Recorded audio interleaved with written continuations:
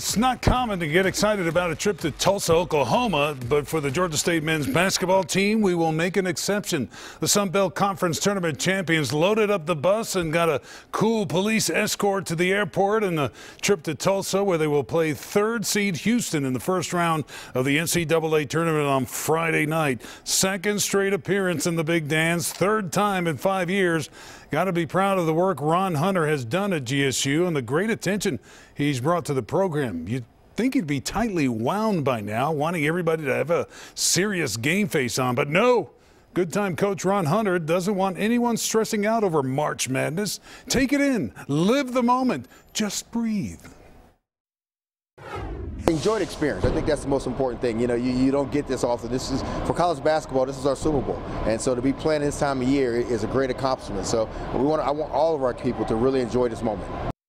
Let's do it. And